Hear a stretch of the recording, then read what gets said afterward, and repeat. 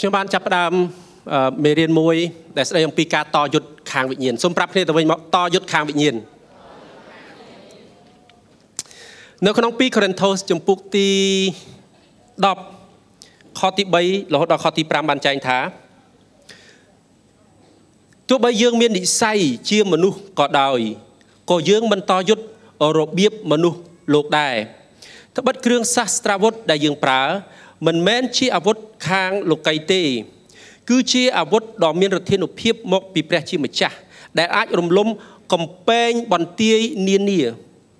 នៅក្នុងជីវិតរបស់យើងព្រះកពីចែងថា មានកំពែងហើយមានបន្ទាយនានាយើងរំលំការរិះគិតនិងគំនិតឆ្មើងកន្ទ្រើងទាំងប៉ុន្មាន ដែលរៀបរៀងមិនឲ្យស្គាល់ព្រះជាម្ចាស់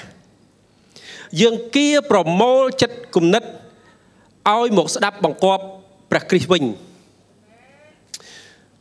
ព្រះអង្គខ្ញុំជឿខ្ញុំជឿថានៅពេលដែលព្រះអង្គសង្គ្រោះយើងយើងបានទទួលការសង្គ្រោះយើងបានទទួលសេរីភាពហើយជាសេរីភាពដ៏ពិតប្រាកដដែលមកពីព្រះអង្គអាមែនប៉ុន្តែក៏ព្រះអង្គក៏ប្រហារតីឲ្យយើងមានសេរីភាពគ្រប់ផ្នែកទាំងអស់ដោយពិតប្រាកដដែរប៉ុន្តែក្នុងព្រះគម្ពីរបានចែងថាខណៈពេលដែលយើងនៅរស់នៅលើផែនដីនៅឡើយយើងត្រូវការ ចេះគៀចេះប្រមូលចិត្តគំនិតមួយចំនួន ដែលជាបន្ទាយរឹងមាំដែលអាចនាំឲ្យយើងមិនស្ដាប់បង្គាប់ព្រះគ្រីស្ទឬយើងនិយាយមួយម៉ាត់ឲ្យខ្លីថា ជាបន្ទាយរឹងមាំ ដែលបណ្ដាលឲ្យយើងធ្វើខុសពីអ្វីដែលព្រះបន្ទូលរបស់ព្រះជាម្ចាស់ចែងហើយនាំនៅទុកទោសមកកាន់ជីវិតរបស់យើងនាំនៅភាពវេទនាមកកាន់ជីវិតរបស់យើង វាផ្ទុយពីបំណងព្រះハរតីរបស់ព្រះជាម្ចាស់ដែលគប់ប្រហារទៅឲ្យយើងមានសេរីភាពហើយសេរីភាពទៅពិតប្រាកដក្នុងព្រះគម្ពីរបានចែងថាមាព្យាយាមបាញ់គំនិត ដែលប្រៀបដូចជាព្រួញភ្លើងចូលក្នុងចិត្តគំនិតរបស់យើង ដើម្បីឲ្យយើងបានទទួលគំនិតរបស់មាជាជាងគំនិតរបស់ព្រះជាម្ចាស់ហើយក្នុងព្រះគម្ពីរបានចែងថាយើងត្រូវគៀយើងត្រូវប្រមូលចិត្តគំនិតទាំងអស់នោះមកស្ដាប់បង្គាប់ព្រះបន្ទូលរបស់ព្រះគ្រីស្ទដូច្នេះនៅថ្ងៃនេះយើងចង់មើលជាមួយគ្នាហើយខ្ញុំជឿជាក់ថានៅពេលដែលយើងចេះរំលំបន្ទាយទាំងអស់នោះ ធ្វើឲ្យយើងរស់នៅដោយមានសុភមង្គលមានសេរីភាពគ្រួសាររបស់យើងមានសុភមង្គលគ្រួសាររបស់យើងក៏មានសេរីភាពដែរដូច្នេះយើងត្រូវចេះគៀប្រមូលចិត្តគំនិតទាំងអស់នោះដើម្បីយើងអាចគៀប្រមូលឬក៏រំលំលុះត្រាតែយើងស្គាល់បន្ទាយទាំងអស់នោះហើយបន្ទាយទាំងអស់នោះចូលតាមច្រកណាខ្លះនៅក្នុងជីវិតរបស់យើងខ្ញុំចង់មើលបន្ទាយមួយ យើងហៅថាបន្ទាយនៃចិត្តគំនិតព្រោះចិត្តគំនិតក៏មានបន្ទាយដែរ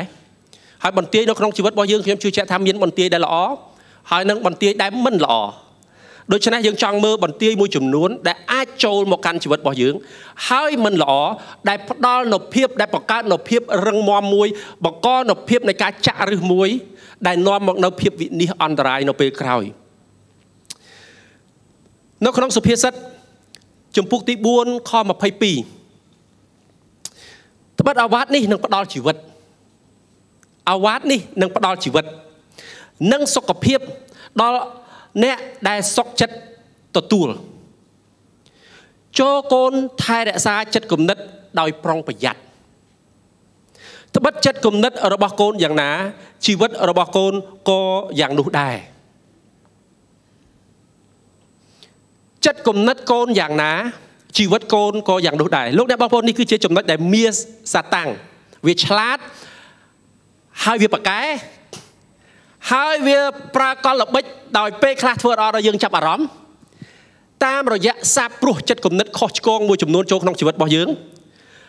ហើយនាំឲ្យយើងបែរទិសនៃជីវិតរបស់យើង ទៅតាមចិត្តគំនិតទាំងអស់នោះឯងចិត្តគំនិតមួយចំនួនយើងអាចកត់សម្គាល់បានដោយរបៀបណា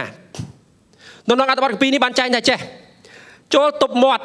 កុំពោលពាក្យអាស្រូវឡើយហើយគុំក្រឡោះអណ្ដាត ពោលពាក្យមួលបង្កាច់ដែរលទ្ធផលមួយចំនួនដែលយើងដឹងថានៅក្នុងចិត្តគំនិតយើងយ៉ាងណា មើលពាក្យរបស់យើងអ្វីខ្លះដែលមាននៅក្នុងចិត្តរបស់យើង មើលពាក្យរបស់យើងសូមស្ដាប់សូមស្ដាប់ខកពីមួយនេះលូកាចំពូកទី6ខ45មនុស្សល្អតែងប្រព្រឹត្តអំពើល្អព្រោះចិត្តគេល្អសូមប្រាប់អ្នកនៅចិត្តខាងយើងថាចិត្តខ្ញុំល្អហើយបើនៅប្តីប្រពន្ធប្រាប់ថាអូនណា ចិត្តបងល្អណាហហើយបើអូនប្រាប់បងដែរថាអូនចិត្តបងក៏ល្អដែរណា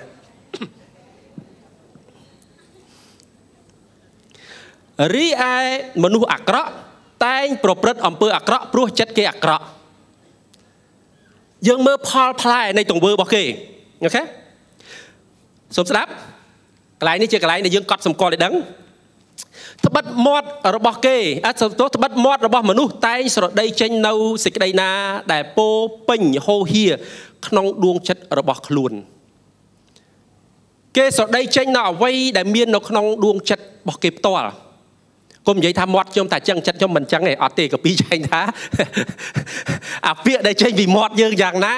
អានឹងដោយសារក្នុងវាហូរខ្លាំងវាហូរខ្លាំងប៉ុន្តែមានមនុស្សមួយចំនួនក៏ប្រកែដែរ ពេលខ្លះយើងមានគំនិតមួយពឹបចេញមកពឹបយើងរហូតដាក់និយាយពឹបប៉ុន្តែយើងទប់ជាប់តណាកន្លែងហ្នឹងក៏ជាកន្លែងមួយដែលយើងគួយគិតដែរថាស្អីគេជាគំនិតដំបូងនៅក្នុងការឆ្លើយតបដែលយើងចង់និយាយមិញដែលយើងចង់ចេញមិញដែលយើងគិតមកមុនគេមិញហ្នឹងជួនកាលគំនិតទាំងអស់នោះក៏អាចคล้ายទៅជាអ្វីដែលវាផុសចេញយ៉ាងហូរហៀចេញពីជំរៅដួងចិត្តរបស់យើងដែរដូច្នេះចិត្តរបស់យើងសំខាន់ចិត្តរបស់យើងសំខាន់មែនទែន ពីព្រោះចិត្តយើងយ៉ាងណាជីវិតរបស់យើងយ៉ាងនោះព្រះអង្គក៏ប្រហារតីធ្វើការនៅក្នុងដួងចិត្តរបស់យើងព្រះអង្គក៏ប្រហារតីបំផ្លាស់បំប្រែចិត្តគំនិតរបស់យើង នៅពេលដែលថ្ងៃមួយគេចាប់ដើមសួរទៅកាន់លោកពេត្រុសថាដើម្បីឲ្យទទួលការសង្គ្រោះតើខ្ញុំត្រូវធ្វើម៉េចគាត់និយាយថាបងប្អូនត្រូវកែប្រែចិត្តគំនិតឲ្យទទួលព្រះគ្រីស្ទឲ្យធ្វើពិធីជាមួយទឹកត្រូវកែប្រែរបៀបដែលលោកអ្នកបងប្អូនគិត កែចេញពីរបៀបដែលយើងធ្លាប់រស់នៅឲ្យស្របតាមបំណងប្រហារតីរបស់ព្រះជាម្ចាស់យើងសួរថាតើវាចូលតាមរបៀបណាចិត្តគំនិតទាំងអស់នោះចូលតាមរបៀបណាអញ្ចឹងលោកអ្នកបងប្អូនមើលក្នុងម៉ាថាយសំទោសនៅក្នុងលូកាជំពូកទី11ខទី34ភ្នែកជាចង្គៀងរបស់រូបកាយបើភ្នែកអ្នកនៅភ្លឺល្អ រូបកាយទាំងមូលរូបកាយអ្នកទាំងមូលក៏ភ្លឺសំទោសក៏ភ្លឺដែរតែបើភ្នែកអ្នកងងឹតវិញរូបកាយអ្នកក៏ងងឹតដែរនៅក្នុងលូកានេះបានប្រាប់ថាភ្នែកជាចង្គៀងនៃរូបកាយបើបើភ្នែកយើងភ្លឺរូបកាយរបស់យើងក៏ភ្លឺខ្ញុំជឿជាក់ថានៅពេលដែលព្រះកពីបានចែងអំពីរូបកាយឬក៏ភ្នែកយើងភ្លឺខ្ញុំសំដៅទៅលើភ្នែកដែលអាចប្រមាលមើលឃើញ យើងអាចសន្មត់នៅអ្វីដែលកំពុងតែកើតឡើងនៅជុំវិញយើងបាន ប្រសិនបើយើងភ្លឺល្អការប្រមាលរបស់យើងល្អរូបកាយរបស់យើងក៏នឹងល្អដូច្នេះភ្នែកក៏ជាផ្នែកមួយ ជាទ្វារមួយ ដែលទទួលព័ត៌មាន ដែលអាចទទួលចិត្តគំនិតមួយចំនួនភ្នែកយើងមួយចំនួនក៏លេចមើលទៅកាន់អ្វីមួយយ៉ាង មើលទៅកាន់នរណាម្នាក់យើងតែងតែទទួលព័ត៌មានចេញពីភ្នែករបស់យើងបាន ហើយដាក់ចូលនៅក្នុងចិត្តរបស់យើងប៉ុន្តែបើសិនជាភ្នែកយើងងងឹតរូបកាយយើងងងឹតដែរប្រសិនបើយើងចាប់ផ្ដើមមើលឃើញអ្វីមួយហើយយើងចាប់ផ្ដើមទទួលភាពងងឹតភាពអវិជ្ជមានពីអ្វីដែលយើងមើលឃើញនោះយកមកដាក់នៅក្នុងជីវិតរបស់យើងលទ្ធផលនៃជីវិតរបស់យើងរូបកាយរបស់យើងក៏ទៅយ៉ាងដូច្នោះដែរឧទាហរណ៍នៅក្នុងម៉ាថាយចំពុក5ខ28ដល់ខទី29រីឯខ្ញុំវិញខ្ញុំសូមបញ្ជាក់ប្រាប់អ្នករាល់គ្នាថាអ្នកណាមើលស្ត្រីម្នាក់ ហើយមានចិត្តស្រាប់ស្រាលចង់រួមបវេនីជាមួយនាង អ្នកនោះដូចបានប្រព្រឹត្តអំពើផិតក្បត់ជាមួយនាង នៅក្នុងចិត្តរបស់ខ្លួនស្រេចទៅហើយសូមស្ដាប់ប្រសិនបើភ្នែកស្ដាំរបស់អ្នកនាំឲ្យអ្នកប្រព្រឹត្តអំពើបាបចូលខ្វេះចេញហើយបោះចោលឲ្យឆ្ងាយពីអ្នកទៅមិនធម្មតាមិនថាមិនថាកពីមិនប្រាប់ថាយកចេញទេណាដកចេញហើយគប់ឲ្យឆ្ងាយទៀត មានន័យថាគុំទុកឱកាសទៅរើសមកឲ្យតដាក់ចូលវិញក្រៃលោកមើលឃើញទៀតលោកអ្នកបងប្អូននេះជាជាពាក្យប្រៀបធៀបខ្ញុំអត់ជឿថាព្រះអង្គគាត់ប្រហែលតែឲ្យលោកអ្នកបងប្អូនខ្វេះភ្នែកលោកអ្នកបងប្អូនមែនតើចេញប៉ុន្តែព្រះអង្គសំដៅលើភ្នែកខាងវិញ្ញាណកាយយើងចេះគ្រប់គ្រងប៉ុន្តែចង់ចង់ប្រាប់យើងពីអ្វីមួយដែលយើងត្រូវចេះកាត់ផ្ដាច់ហើយបោះចោលឲ្យឆ្ងាយពីអ្នកទៅបើអ្នកបាត់បើអ្នកបាត់ភ្នែកតែមួយនេះ ប្រសើរជាងបណ្ដាលឲ្យរូបកាយទាំងមូលធ្លាក់ទៅក្នុង នរកបើយើងមានភ្នែក2តែបាត់បង់ការសង្គ្រោះបើយើងមានភ្នែក2ប៉ុន្តែចុងក្រោយជីវិតយើងវេទនាអស់កលចនិចភាសាជាងឲ្យយើងបាត់តែមួយហើយទៅនគរឋានសួគ៌ហើយពេលយើងទៅដល់នគរឋានសួគ៌ព្រះមានគ្រឿងបលាស់ឲ្យដាក់ឲ្យយើងបានពីរគ្រប់វិញអាមែនប្រសិនបើទូរស័ព្ទរបស់យើងនាំឲ្យយើងប្រព្រឹត្តអំពើបាបបោះក៏វត្តចោលវាឲ្យឆ្ងាយ បើ laptop យើងនាំមកយើងប្រព្រឹត្តអំពើបាបបោះឲ្យវាទៅឲ្យឆ្ងាយរកមនុស្សម្នាក់ដែលយើងអាចនិយាយជាមួយបានហើយបើកចំហដួងចិត្តរបស់យើងបានបង្ហាញពីគណនេយ្យភាពរបស់យើងពីភាពច្បាស់លាស់របស់យើងពីភាពទៀងត្រង់របស់យើងទៅកាន់នរណាម្នាក់ផ្សេងទៀតដើម្បីជួយយើងដូច្នេះផ្នែកមួយដែលអាចនាំឲ្យមានគំនិតមួយចំនួន ដែលអវិជ្ជមានចូលក្នុងជីវិតរបស់យើង គឺតាមរបៀបដែលយើងមើលខ្ញុំសូមបញ្ជាក់ គុំច្រឡំថាភ្នែករបស់យើងជាអំពើបាបហើយក៏គុំច្រឡំថាភ្នែករបស់យើងគឺជារុះគល់នៃអំពើបាបសូមប្រាប់គ្នាទៅវិញទៅមកថាភ្នែកខ្ញុំមិនមែនជាបាបទេបាទប៉ុន្តែរបៀបដែលយើងប្រមាលមើលរបៀបដែលយើងឆ្លើយតបជាមួយព័ត៌មានដែលយើងឃើញដែលនៅព្រះគម្ពីរបានចែងថាប្រយ័ត្ននៅចិត្តគំនិត ដែលចូលតាមរយៈភ្នែករបស់យើង ជាចិត្តគំនិតដែលមិនត្រឹមត្រូវ នាំឲ្យចាក់រឹសនៃអំពើបាបទី2តើយើងអាចទទួលព័ត៌មានឬក៏យើងអាចកសាងបន្ទាយរឹងមាំនេះតាមរយៈអីគេខ្លះទៀតពីធីម៉ូថេចំពុក3ចំពុក4ខ3ត្បិតនឹងមានគ្រាមួយ ដែលមនុស្សលោកមិនព្រមស្ដាប់សេចក្តីបង្រៀនត្រឹមត្រូវទៀតឡើយផ្ទុយទៅវិញ គេរកគ្រូមកបង្រៀនតាមទំនឹងចិត្តរបស់គេគ្រាន់តែឲ្យពីរោះ ត្រចៀកតែប៉ុណ្ណោះនឹងមានគ្រាមួយមកដល់ដែលមនុស្សអត់ចូលចិត្តស្ដាប់សេចក្តីបរិញ្ញាណាដែលគេមិនចង់ស្ដាប់ឬក៏សេចក្តីបរិញ្ញាណាដែលជំរុញដួងចិត្តគេឲ្យកែប្រែចិត្តគំនិតខណៈពេលដែលគេចូលចិត្តទម្លាប់មួយហ្នឹងទម្លាប់នៃអំពើបាបមួយហ្នឹងទម្លាប់អាក្រក់មួយហ្នឹងដែលខណៈពេលដែលព្រះអង្គក៏ប្រហារតីឲ្យយើងងាកផុតពីបន្ទាយរឹងមាំមួយនេះនឹងមានគ្រាមួយចំនួន មនុស្សនឹងស្ដាប់អ្នកណាដែលគេចង់ស្ដាប់នៅក្នុងសម័យលោកអ្នកបងប្អូនហើយនឹងខ្ញុំយើងអាចស្ដាប់គ្រូបានច្រើនណាស់យើងអាចស្ដាប់គ្រូតាម YouTube គ្រូណាដែលយើងចង់ស្ដាប់យើងស្ដាប់តែរបស់គាត់កន្លែងណាដែលយើងចង់ស្ដាប់របស់គាត់យើងសម័យនេះយើងអាចស្ដាប់តាម TikTok TikTok ក៏មានគ្រូច្រើនដែរគ្រូខ្លះយើងឃើញហើយយើង follow គាត់អត់ទាំងប្រកាសថាគាត់ជាគ្រូរបស់យើងផងតែយើង follow គាត់ដើម្បីស្ដាប់សេចក្តីបរិញ្ញាពីគាត់ គាត់មិននឹងចាត់ទុកថាអ្វីដែលគាត់និយាយហ្នឹងជាសេចក្តីបរិញ្ញាផងគាត់គ្រាន់តែនិយាយចោលពីគំនិតរបស់គាត់តែយើងត្រង់ត្រាប់ស្ដាប់ហើយទទួលទាំងអស់ពីព្រោះនឹងជាអ្វីដែលយើងចង់ឮនឹងជាអ្វីដែលយើងចង់រៀនតាមនឹងជាអ្វីដែលយើងចង់ស្ដាប់ដូច្នេះព្រះអង្គឲ្យយើងប្រយ័ត្នជាមួយនឹងការដែលយើងចេះស្ដាប់សុភាសិតចំពុក20ខ12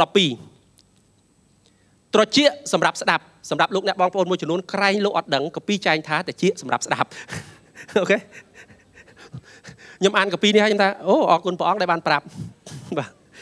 ត្រចៀកសម្រាប់ស្ដាប់ភ្នែកសម្រាប់មើលករណីលោកអ្នកបងប្អូនមួយចំនួនអត់ដឹងថាយើងមានក្មេកឯភ្នែកយើងសម្រាប់មើលបាទភ្នែកគឺសម្រាប់មើលសូមស្ដាប់នេះជាចំណុចសំខាន់សុទ្ធតែព្រះអង្គម្ចាស់បង្កើតមកដូចគ្នាព្រះអង្គជាអ្នកបង្កើតភ្នែករបស់លោកអ្នកបងប្អូន ព្រះអង្គក៏ជាអ្នកដែលបង្កើតតិចលោកអ្នកបងប្អូនហើយនឹងខ្ញុំអូខេព្រះអង្គជាអ្នកដែលបង្កើតព្រះអង្គជាអ្នកដែលបង្កើតព្រះអង្គជ្រាបយ៉ាងច្បាស់អំពីអត្តពលនៃការមើលហើយនិងអត្តពលនៃការស្ដាប់អញ្ចឹងបានព្រះអង្គបរៀនយើងឲ្យប្រយ័ត្ននៅអ្វីដែលយើងមើលឃើញហើយនៅអ្វីដែលយើងស្ដាប់មិនប្រកាសថាអ្វីដែលយើងមើលឃើញហើយអ្វីដែលយើងស្ដាប់គំនិតយោបល់ទាំងអស់នោះ សុទ្ធសឹងតែល្អហើយសមស្របជាមួយនឹងព្រះបន្ទូលរបស់ព្រះអង្គខណៈពេលដែលគំនិតមួយចំនួនយោបល់មួយពរុនសេចក្តីសិបបង្រៀនមួយចំនួនជាគ្រាន់តែជាសេចក្តីបង្រៀនដែលធ្វើឲ្យយើងត្រជាក់ចិត្តហើយសប្បាយចិត្តហើយកំសាន្តចិត្តប៉ុន្តែព្រះបន្ទូលរបស់ព្រះអង្គមានព្រះបន្ទូលថាមុតជាងដាវមុខពីរដែលអាចផ្លះពាក្យផ្លះគឺមានន័យថាកាត់ព្រះបន្ទូលរបស់ព្រះអង្គមិនមែនគ្រាន់តែធ្វើឲ្យយើងមានអារម្មណ៍ល្អព្រះបន្ទូលរបស់ព្រះអង្គគឺដើម្បីផ្លះនៅអ្វីដែលមិនល្អចេញ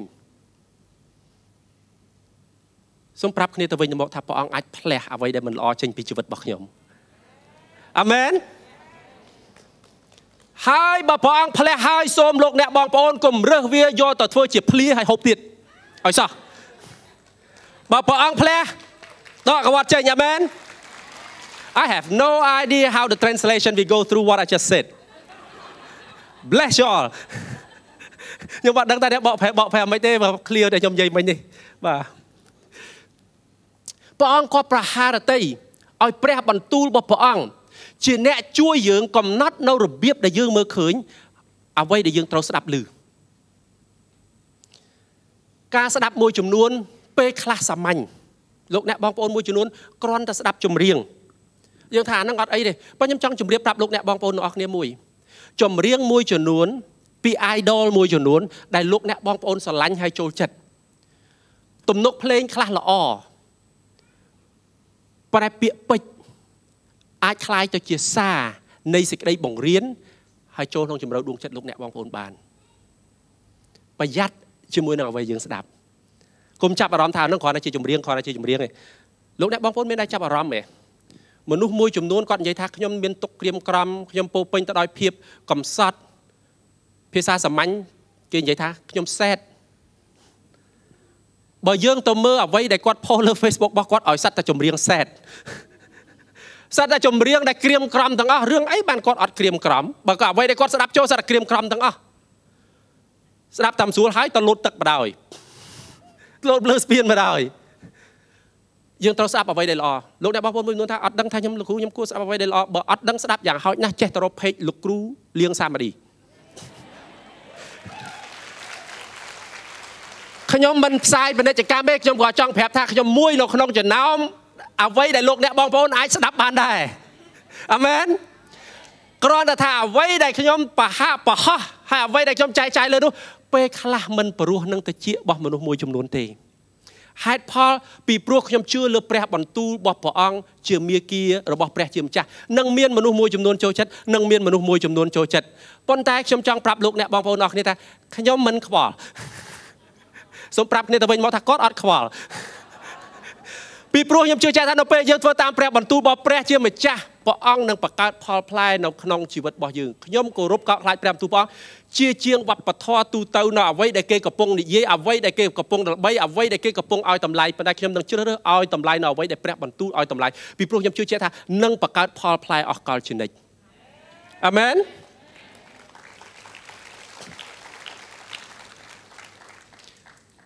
បន្ទាយរឹងមាំនៅក្នុងចិត្តគំនិតរបស់យើងចូលតាមណាខ្លះទៀតនៅក្នុងហេព្រើរចំពុកទី12ខទី14និងខទី15ចូលខិតខំឲ្យបានសុខជាមួយមនុស្សទាំងអស់ព្រមទាំងខិតខំឲ្យបានវិសុទ្ធទៀតផង បើមិនបានវិសុទ្ធទេគ្មាននរណាអាចឃើញព្រះអម្ចាស់ឡើយចូលប្រយ័ត្នប្រយែងក្រែងលោមានបងប្អូនណាម្នាក់ឃ្លាតឆ្ងាយពីព្រះគុណរបស់ព្រះជាម្ចាស់មិនត្រូវទុកឲ្យការអាស្រូវចាក់រឹស ដោះឡើងបណ្ដាលឲ្យកើតរឿងរ៉ាវហើយបំពុលចិត្តគំនិតបងប្អូនជាច្រើននោះឡើយមានរឿងរ៉ាវមួយចំនួន មានរឿងអាស្រូវមួយចំនួន ដែលអាចកសាងបន្ទាយរឹងមាំនៅក្នុងជីវិតលោកអ្នកបងប្អូន មានរឿងជូរចត់មួយចំនួន ដែលអាចកសាងគ្រឹះមូលដ្ឋាន ដែលคล้ายទៅជាបន្ទាយរឹងមាំនៅក្នុងជីវិតរបស់យើង ពេលដែលវាកសាងហើយពេលដែលវាចាក់ឬហើយវាអត់នៅតទេទេ គឺវានឹងដោះឡើងហើយពេលដែលវាដោះឡើងវាបង្កើតផលផ្លែហើយផលផ្លែរបស់វានោះគឺរឿងអាស្រូវចឹងបានក្នុងព្រះពីចែងថាចូលអត់ទោសឲ្យខ្មាំងសត្រូវរបស់អ្នកមុនថ្ងៃលិច7ដងគុណនឹង7ក្នុងមួយថ្ងៃហើយសួរព្រះស៊ូព្រះស៊ូថាថាម៉េចគុណអានឹង70ដងទៀត មានន័យថា24ម៉ោងមានគេរករឿងយើងជារៀងរាល់3នាទីម្ដងទោះបីយើងពងដេកលុកក្រោយមានគេមករករឿងយើងធ្វើយើងខឹងជារៀងរាល់3នាទីម្ដងព្រះអង្គថាអត់ទោះឲ្យគេទាំងអស់គោលបំណងចេះខ្ញុំជឿជាក់ថាគ្មានអ្នកណាគេតាមរករឿងយើង24ម៉ោងជារៀងរាល់3នាទីម្ដងដាក់នាឡិការោដើម្បីរករឿងយើងនោះទេប៉ុន្តែរឿងចេះនៅពេលយើងមានចិត្តជូរចត់នៅពេលយើងមានកំហឹងនៅពេលយើងមានមានការអត់ទោសចិត្តគំនិតទាំងអស់នោះផុសឡើងនៅក្នុងខួរក្បាលរបស់យើងជារៀងរាល់នាទីធ្វើយើងគិត គេងមិនលក់គេងលក់បានមួយសបកយល់សពឃើញបកគលហ្នឹងញាក់តង់កដាលយប់ខឹងតង់កដាលយប់ហ្មងដេកអត់លក់ទៀតដោយសារដេកយល់សពមិញបន្ទាប់មកព្យាយាមគេងតបទៅវិញតែពេលនោះវាស្វាង ស្វាងហើយខឹងថាហេតុអីបានគេងអត់លក់ម្ដងទៀតយើងធ្វើយើង toxic នៅក្នុងអារម្មណ៍របស់យើងម្ដងទៀតពេលខ្លះទៀតប្តីរបស់យើងធ្វើខុសបន្តិច ពេលខ្លះបន្តិចពេលខ្លះច្រើនខ្ញុំសុំថែឲ្យបានគ្រប់គ្រប់គ្នាដល់ខ្ញុំខុសតែបន្តិចតិចទេអត់ឲ្យបានច្រើនទេប៉ុន្តែមានអ្នកខ្លះខុសច្រើនបាទបើមិនជឿសួរពុនខ្ញុំមកបាទអត់បានអត់ទោសប្តីយប់ឡើងគេងយកសពខឹងប្តីព្រលឹមឡើងខឹងប្តីមកខ្ញុំអត់ដឹងលោកអ្នកបងប្អូនប្រហែលអ្នកធ្លាប់ប្រពន្ធភ្ញាក់ឡើងប្រពន្ធខឹងយកហ្មងយប់មិញដេកយកសពអត់ជួយគ្នាសោះហ្មង ហើយសួរមានរឿងថៃយប់មិញខ្ញុំដេកយកសពអត់ព្រមមកជួយខ្ញុំខឹងទាំងព្រឹកបាទបងឲ្យយើងអត់ទោសដើម្បីគុំអនុញ្ញាតឲ្យចិត្តគំនិតទាំងអស់នោះទុកលំបាកទាំងអស់នោះបញ្ហាទាំងអស់នោះឬរឿងអាស្រូវទាំងអស់នោះចាក់នៅក្នុងជីវិតរបស់យើងហើយដោះជារឹសបង្កើតជាមូលដ្ឋាន នៃចិត្តគំនិតខុសឆ្គងដែលលទ្ធផលនាំឲ្យយើងបង្ករឿងអាស្រូវ វាជះអត្តពលដែលមិនល្អចូលក្នុងជីវិតរបស់យើងខណៈពេលដែលព្រះអង្គគប់ប្រហារទៅឲ្យកូនរបស់ព្រះអង្គរស់នៅក្នុងជីវិតមួយដែលប្រកបទៅដោយព្រះគុណរបស់ព្រះជាម្ចាស់ហើយនឹងប្រពោរបស់ព្រះអង្គអាមែនខ្ញុំជឿថានៅពេលដែលព្រះអង្គបានសង្គ្រោះយើងយើងបានសុចរិតនៅពេលដែលព្រះអង្គបានសង្គ្រោះយើងព្រះអង្គបានកាត់នឹមនៃបណ្ដាសានានាប៉ុន្តែនៅព្រះពីបានចែងថាយើងត្រូវជ្រើសរើសកាត់ផ្ដាច់យើងត្រូវចេះជ្រើសរើសដើម្បីទូលអង្វរព្រះអង្គ នៅថ្ងៃនេះខ្ញុំចង់ឲ្យលោកអ្នកបងប្អូនឃើញបណ្ដាសាមួយចំនួនជាបណ្ដាសាតពូជក្នុងព្រះគម្ពីរបានចែងពីបណ្ដាសាតពូជមិនមែនជាចិត្តគំនិតរបស់ខ្ញុំហើយខ្ញុំជឿជាក់ថាបណ្ដាសាតពូជនេះមាននៅក្នុងព្រះគម្ពីរសញ្ញាណចាស់ប៉ុន្តែខ្ញុំចង់ជួយលោកអ្នកបងប្អូនឲ្យយល់ដែរកុំយល់ច្រឡំថាអូអានឹងកើតឡើងពីសញ្ញាណចាស់អានឹងរឿងអតីតកាលអានឹងរឿងក្រិតវិន័យឥឡូវយើងរស់នៅក្នុងសម័យនេះព្រះអង្គផ្ដល់ឲ្យយើងនៅប្រគុណគ្រប់បែបយ៉ាង ដើម្បីរស់នៅព្រះអង្គផ្ដល់ប្រគុណឲ្យយើងដើម្បីសង្គ្រោះយើងឲ្យរួចផុតពីបាបនិងនឹមនឹងបណ្ដាសានានាប៉ុន្តែព្រះអង្គក៏ប្រទែយើងមានសេរីភាពមិនមែនឲ្យយើងយកសេរីភាពដែលព្រះជាម្ចាស់បានប្រទានឲ្យយើងคล้ายទៅជាសិទ្ធិស្របច្បាប់ដើម្បីឲ្យយើងនិយាយថាខ្ញុំជាគ្រីស្ទៀនខ្ញុំប្រព្រឹត្តអំពើបាបអីក៏បានចាំត្រឡប់មកផ្ទះវិញហើយសុំទោសព្រះអង្គហើយព្រះអង្គអត់ទោសឲ្យហើយចប់រួចគ្នាស្អែកឡើងខ្ញុំប្រព្រឹត្តអំពើបាបទៀតហើយល្ងាចឡើងខ្ញុំសុំទោសព្រះអង្គទៀតហើយព្រះអង្គអត់ទោសខ្ញុំទៀតនេះយើងហៅថា ប្រើប្រាស់ប្រគុណរបស់ព្រះជាម្ចាស់ដោយមើលងាយព្រះអង្គហើយព្រះកពីចែងព្រះកពីចែងសូមស្ដាប់2សាមយូអែលជំពូក12ខទី9ដល់ខទី10ចុះហេតុដូចម្ដេចបានជាអ្នកមើលងាយព្រះបន្ទូលរបស់យើងព្រះជាម្ចាស់មានព្រះបន្ទូលទៅកាន់ព្រះបាទដាវីតតែក្នុងព្រះពីចែងថាព្រះបាទដាវីតជាមនុស្សដែលព្រះអង្គមានព្រះបន្ទូលថាជាសំណប់ព្រះអង្គ ជាមនុស្សដែលមានដួងចិត្តដូចព្រះអង្គហើយព្រះអង្គមានព្រះបន្ទូលទៅកាន់គាត់ព្រះអង្គស្ដីឲ្យគាត់ហេតុដូចម្ដេចបានជាអ្នកមើលងាយព្រះបន្ទូលយើង ដោយ ប្រព្រឹត្តអំពើដែលមិនគប់ចិត្តយើង គឺអ្នកបានធ្វើឃាតអ៊ូរីជាជនជាតិហេតដោយប្រគល់ឲ្យទៅជនជាតិអាម៉ូនសម្លាប់រួចយកប្រពន្ធរបស់អ៊ូរីមកធ្វើជាប្រពន្ធរបស់ខ្លួនព្រះបាទដាវីតបានជាប់នៅក្នុងឃាតកម្មមួយ ដោយប្រយោលគាត់អត់បានសម្លាប់អ៊ូរីដោយផ្ទាល់ទេប៉ុន្តែគាត់ឲ្យអ៊ូរីចូលក្នុងសមរភូមិមួយជនជាតិអាម៉ូននៅក្នុងកលែងដែលសមរភូមិក្តៅជាទីបំផុតរុញគាត់ចូលឲ្យដកកម្លាំងទ័ពចេញមានន័យថាជាអន្តៈដើម្បីឲ្យយូរីត្រូវខ្មាំងត្រូវសម្លាប់ធ្វើឲ្យប្រពន្ធយូរីអ៊ូរីខ្លាយទៅជាស្ត្រីមេម៉ាយហើយទៅយកប្រពន្ធរបស់គេដោយស្របច្បាប់តាមពិតលួច មានអ្នកម្ដងមួយប្រពន្ធគេរួចទៅហើយបានរៀបចំគម្រោងដើម្បីសម្លាប់ប្តីគេតាមក្រោយជាអំពើដែលព្រះអង្គមិនគប់ប្រហារតីហើយព្រះអង្គចាត់ទុកដាវីតបានមាក់ងាយព្រះបន្ទូលព្រះអង្គសូមស្ដាប់ពីលទ្ធផល នៅពេលដែលខ្ញុំបរៀនមេរៀននេះ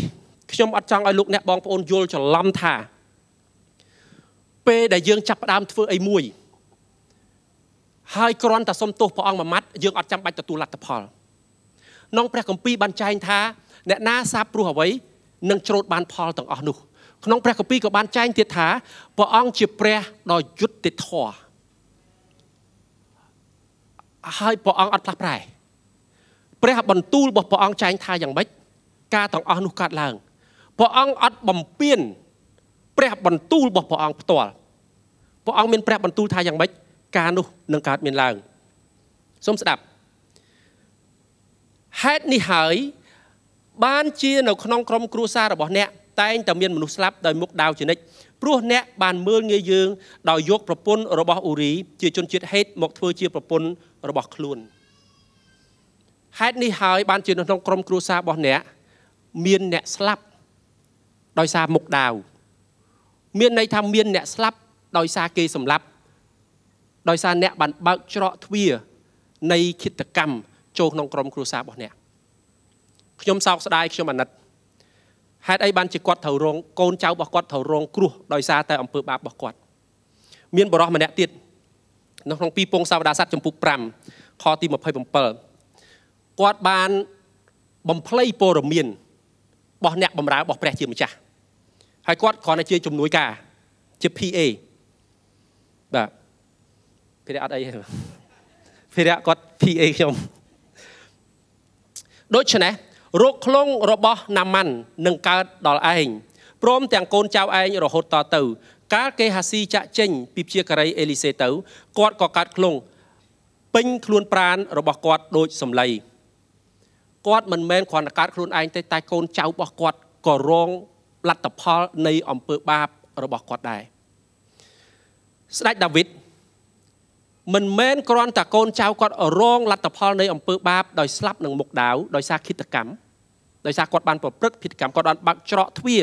នៃគិតកម្មចូលក្នុងជីវិតរបស់គាត់តែគាត់ក៏បានបើកច្រកអំពើកំផិតនៅក្នុងក្រុមគ្រួសាររបស់គាត់ព្រះអង្គមានព្រះបន្ទូលនៅក្នុងខទី11ថែមទៀតថាកូនរបស់អ្នកនឹងយកស្រីស្នំរបស់អ្នកនៅក្នុងនៅទល់មុខសាធារណជន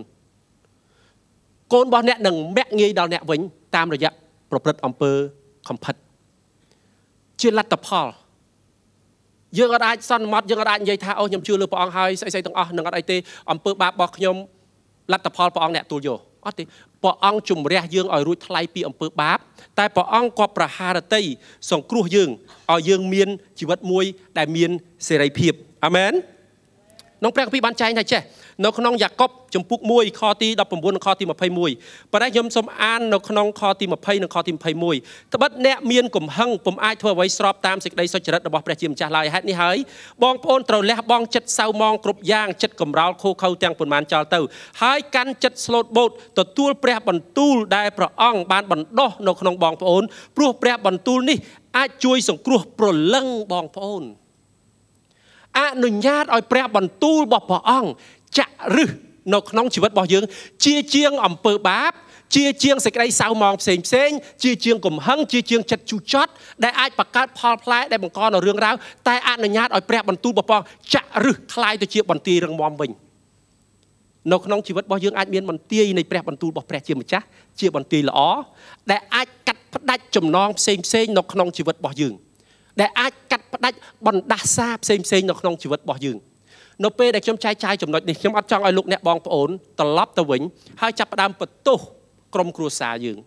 បន្ទោសអ្នកមានគុណរបស់យើងឪពុកម្ដាយរបស់យើងក្នុងព្រះពីបានចែងថា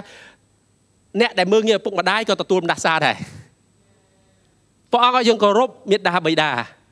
ព្រះអង្គអត់យល់ស្របជាមួយនឹងទង្វើនៃអំពើបាប ព្រះអង្គក៏បតីសង្គ្រោះយើងដែលមានបាបឲ្យចេញផុតពីនឹងដើម្បីឲ្យយើងមានសេរីភាពហើយរស់នៅក្នុងព្រះពររបស់ព្រះជាម្ចាស់តែយើងត្រូវទទួលស្គាល់ទី1ទី2ពេលដែលយើងទទួលស្គាល់យើងអាចកាត់ផ្ដាច់ចំណងនៃបណ្ដាផ្សារដែលពេលខ្លះអំពើបាបមួយចំនួនកើតឡើងនៅក្នុងក្រុមគ្រួសាររបស់យើងមិនមែនជាលទ្ធផលដែលយើងប្រព្រឹត្តមិនមែនជាលទ្ធផលដែលយើងប្រព្រឹត្តកូនចៅរបស់ដាវីតកូនចៅរបស់គាត់ស្លាប់ដោយមុខដាវ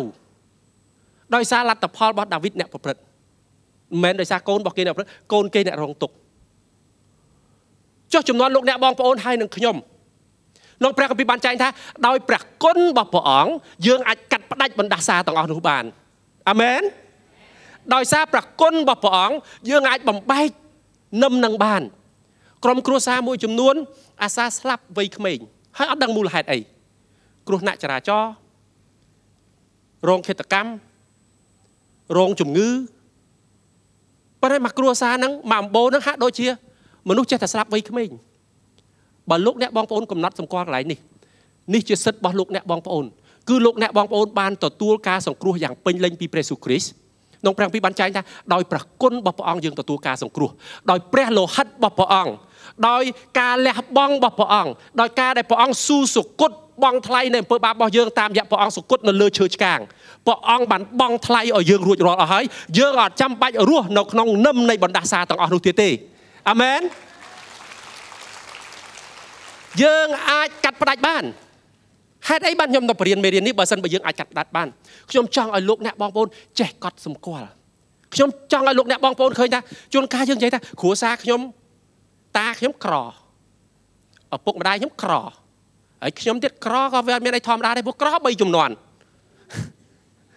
អត់ទេសូមប្រាប់គ្នាទៅវិញមកថាអត់ទេក្នុងព្រះគម្ពីរចែងថាយើង ជាមនុស្សដែលចម្រុងចម្រើនអាមែន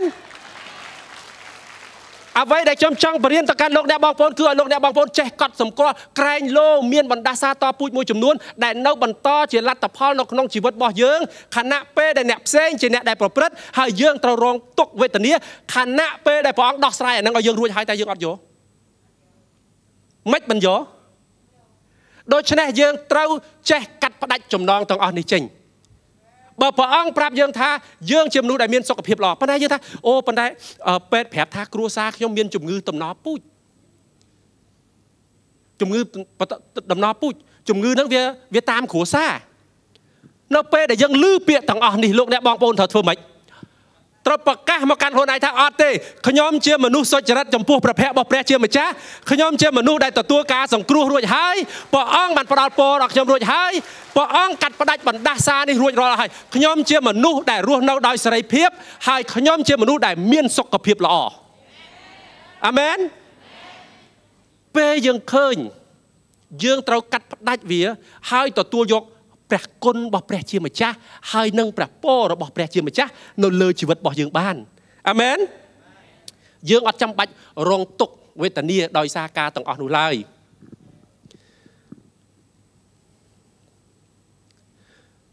ចំណុចទី3បន្ទាយទី3ដែលអាចកើតមានឡើងនៅក្នុងជីវិតរបស់យើងនៅក្នុង1 Corinthos ជំពូកទី15ខទី33បានចែងថា សូមបងប្អូនកុំភ័ន្តច្រឡំសភៅកូរិនថូសអូខេក្នុងព្រះគម្ពីរសញ្ញាណថ្មីបងប្រាប់ថាគុំភ័ន្តច្រឡំឬយើងនិយាយមួយម៉ាត់ភាសាសាមញ្ញថាគុំច្រឡំឲ្យសោះមិត្តអាក្រក់តែងនាំឲ្យខូចទម្លាប់ល្អបន្ទាយមួយចំនួន ជាបន្ទាយដែលយើងរងអត្តពល សូមស្ដាប់ពាក្យខ្ញុំឲ្យតាន់កុំឲ្យលោកអ្នកបងប្អូនផន់ច្រឡំមួយពាក្យរបស់ខ្ញុំយើងអាចមានមិត្តភ័ក្តិហើយយើងអាចរងអត្តពលនៃទម្លាប់អាក្រក់របស់គាត់ហើយនាំយើងឲ្យបាត់ទម្លាប់អាក្រក់ដែរនិយាយមួយម៉ាត់ឲ្យខ្លីគាត់បបួលយើងឲ្យទៅប្រព្រឹត្តបាបយើងទៅដែរគាត់បបួលយើងឲ្យផឹកអីដែលមិននាំឲ្យមានសុខភាពល្អដែលបំផ្លាញជីវិតយើងឲ្យយើងអាយុខ្លីយើងទៅដែរគាត់បបួលយើងឲ្យទៅធ្វើអីយើងទៅធ្វើនឹងដែរ បាត់ទម្លាប់ល្អដែលព្រះជាម្ចាស់គាត់ប្រហារតីឲ្យសុភាសិតចំពុក1ខ10ចែងថាចេះកូនអើយបើមានជនពីលមកបបួលកូនទៅប្រព្រឹត្តអំពើអាក្រក់គុំទៅតាមគេឡើយបើគេបបួលយើងឲ្យទៅប្រព្រឹត្តអំពើមួយចំនួន ដែលយើងដឹងថា ជាអំពើដែលឆ្មើងកន្ទ្រើង មិនមែនគ្រាន់តែជាគំនិតឆ្មើងកន្ទ្រើងទេប៉ុន្តែជាជាជាអំពើឆ្មើងកន្ទ្រើងដែលរៀបរៀងយើងមិនឲ្យស្គាល់ព្រះគ្រីស្ទក្នុងព្រះពីចែងថាយើងត្រូវគៀយើងត្រូវប្រមូលចិត្តគំនិតទាំងអស់នោះ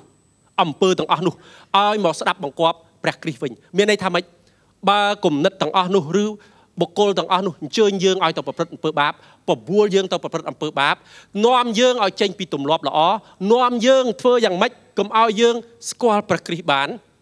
នៅព្រះគម្ពីរបានចែងថាត្រូវកែនទៅប្រមូលចិត្តគំនិតទាំងអស់នោះមកទុកម្ដុំហើយឲ្យវាស្ដាប់បង្គាប់ព្រះគ្រីស្ទមានន័យថាយើងនិយាយទៅកាន់ចិត្តគំនិតទាំងអស់នោះថាអត់ទេខ្ញុំនឹងជ្រើសរើសរស់នៅក្នុងជីវិតដែលសុចរិត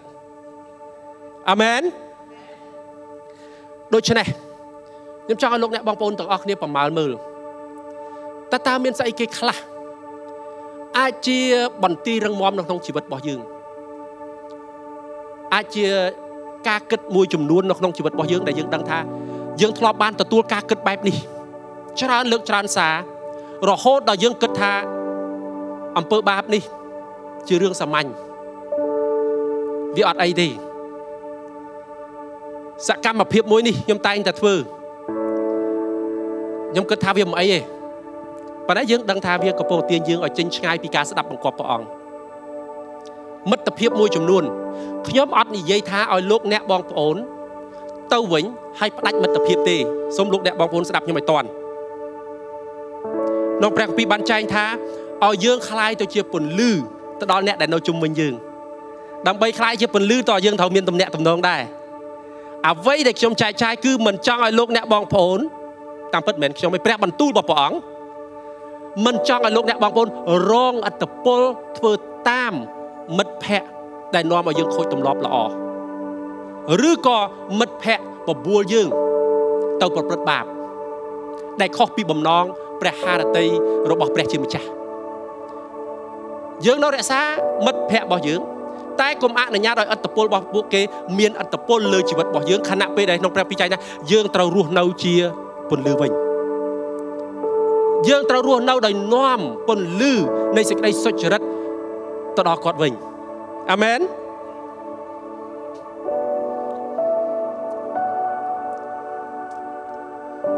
ចម្លើយនៅក្នុងយ៉ាកុបចំពុក1ខ22ចូលប្រណិប័តតាមព្រះបន្ទូលគុំគ្រាន់តែស្ដាប់ទាំងបញ្ឆោតចិត្តខ្លួនឯងប៉ុណ្ណោះឡើយ អ្នកណាស្ដាប់ព្រះបន្ទូលហើយមិនប្រណិប័តតាមអ្នកនោះប្រៀបបានទៅនឹងមនុស្សម្នាក់ឆ្លោះកញ្ចក់មើលមុខខ្លួនលួសពិនិត្យរួចមើលហើយក៏ចេញទៅ ស្រាប់តែភ្លេចមិនដឹងថាមុខខ្លួនឯងដូចមិនដេចផងបាទអឺអ្នកស្ដាប់ព្រះបន្ទូលហើយអត់ធ្វើតាមណាព្រលឹមឡើងឆ្លោះកញ្ចក់គេឯងដែរបើភ្លេចមើលថាសក់ឡើងកតើងរឿងបាទមុខប្រឡាក់ ឬមួយក៏ផ្លិចលាបក្រែមថែមម្សៅហើយចេញទៅទាំងទាំងផ្លិចទាំងអត់បានធ្វើអីទាំងអស់យើងទៅឆ្លោះកញ្ចក់ដើម្បីឲ្យយើងដឹងថាស្ថានភាពមុខយើងវាយ៉ាងម៉េចហើយពេលដែលយើងឃើញស្ថានភាពមុខយើងយ៉ាងម៉េចហើយម្នាក់ម្នាក់ចង់បានមុខល្អមែនទេលោកអ្នកបងប្អូនយើងមិនមែនទៅពិនិត្យកញ្ចក់អព្រលឹមឡើងទៅពិនិត្យកញ្ចក់ ព្រលឹមឡើងទៅអឺតមើលកញ្ចក់មុននឹងចេញពីផ្ទះទៅមើលកញ្ចក់ដើម្បីគ្រាន់តែមើលឲ្យដឹងថាថ្ងៃហ្នឹងខ្ញុំបានមើលកញ្ចក់មែនណា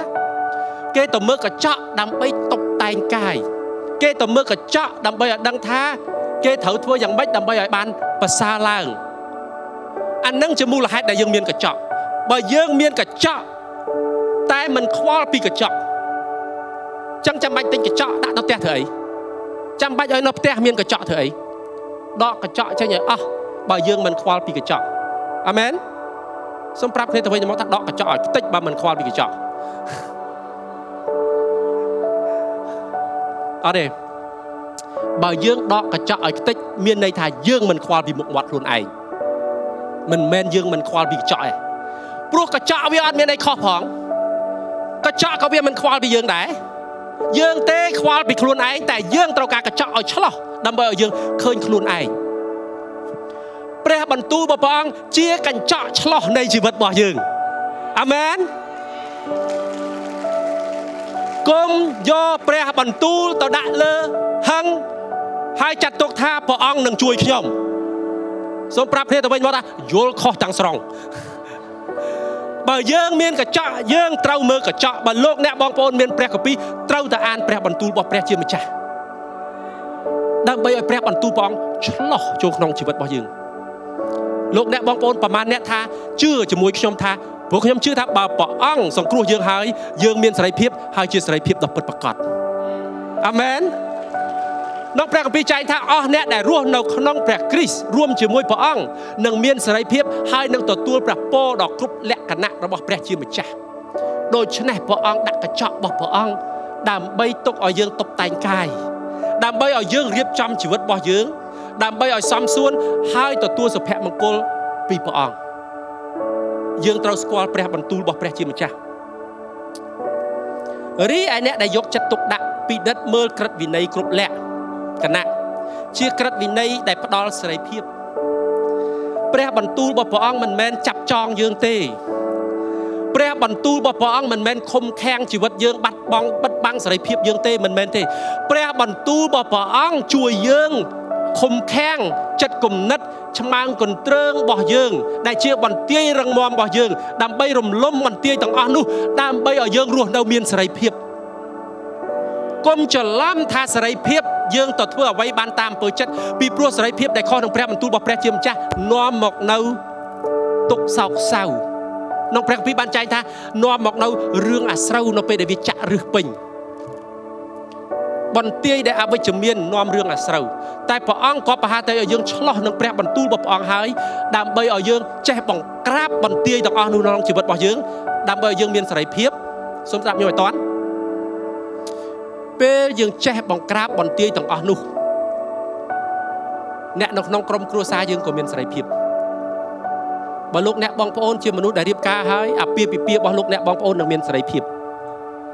កូនចៅរបស់លោកអ្នកបងប្អូននឹងមានសេរីភាព មិនត្រឹមតែប៉ុណ្ណោះលោកអ្នកបងប្អូនបានចេះបិទទ្វារគុំអនុញ្ញាតឲ្យមៀប្រើប្រាស់យើងដូចមៀធ្លាប់កុហកទៅកាន់ដាវីតហើយបើកទ្វារច្រកនៃសេចក្តីស្លាប់ឲ្យចូលកូនចៅរបស់ដាវីតយើងចេះកាត់ផ្ដាច់ដោយសារព្រះគុណរបស់ព្រះជាម្ចាស់និងឫទ្ធានុភាពរបស់ព្រះជាម្ចាស់នៅអ្វីដែលព្រះអង្គបានបង់ថ្លៃជូនយើងរួចហើយអាមែន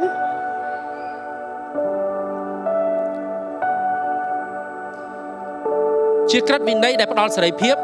ហើយព្យាយាមប្រណិប័តតាមយ៉ាងដិតដល់គឺមិនមែនគ្រាន់តែស្ដាប់រួចភ្លេចអស់ទៅ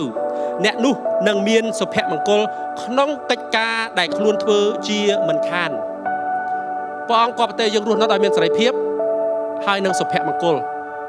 រួមទាំងគ្រប់កិច្ចការទាំងឡាយផ្សេងទៀតដែលយើងធ្វើ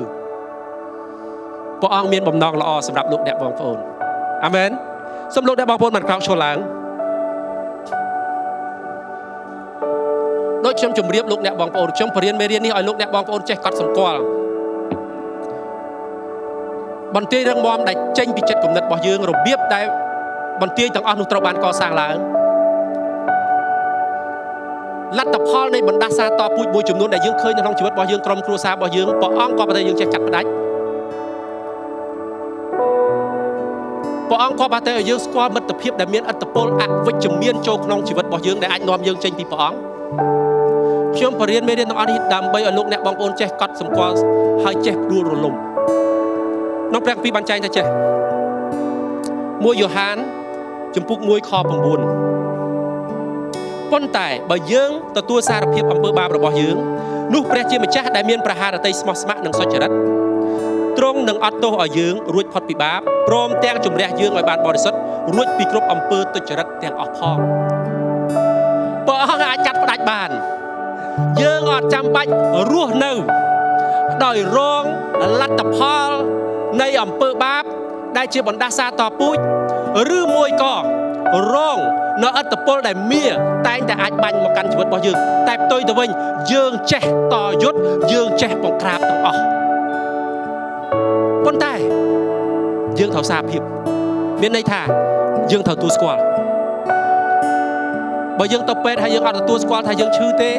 មិនថាពេទ្យចេញរេស្តាមិនតែបើយើងមិនទទួលស្គាល់យើងនឹងមិនលេបថ្នាំទេហើយយើងក៏មិនអនុញ្ញាតឲ្យគេព្យាបាលយើងដែរ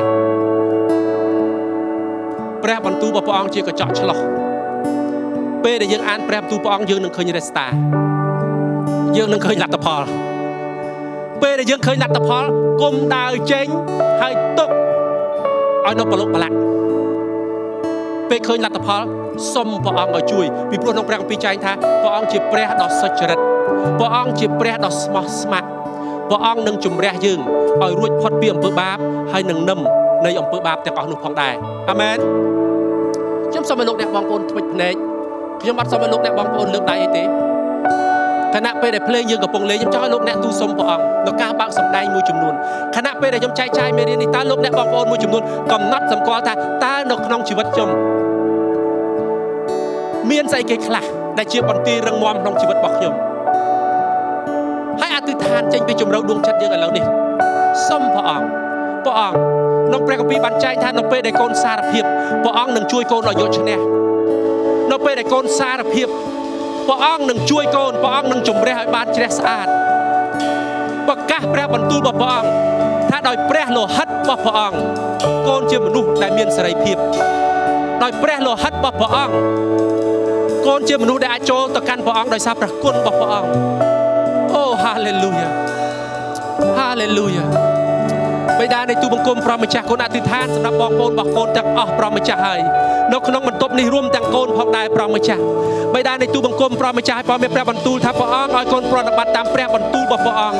ឲ្យព្រះបន្ទូលរបស់ព្រះអង្គចាក់រឹសយ៉ាងមាំនៅក្នុងជីវិតរបស់កូនព្រះម្ចាស់ហើយដើម្បីឲ្យព្រះបន្ទូលនេះព្រះម្ចាស់ហើយកសាងនូវសន្តិភាពព្រះម្ចាស់ហើយដើម្បីឲ្យព្រះបន្ទូលនេះព្រះម្ចាស់រំដោះប្រលឹងកូនទាំងអស់គ្នាឲ្យមានសេរីភាពព្រះម្ចាស់រំដោះចិត្តគំនិតនានាព្រះម្ចាស់ហើយដែលជាប់ជាឆ្លើយព្រះម្ចាស់រំដោះចិត្តគំនិតនានាព្រះម្ចាស់ហើយដែលភ័ន្តច្រឡំ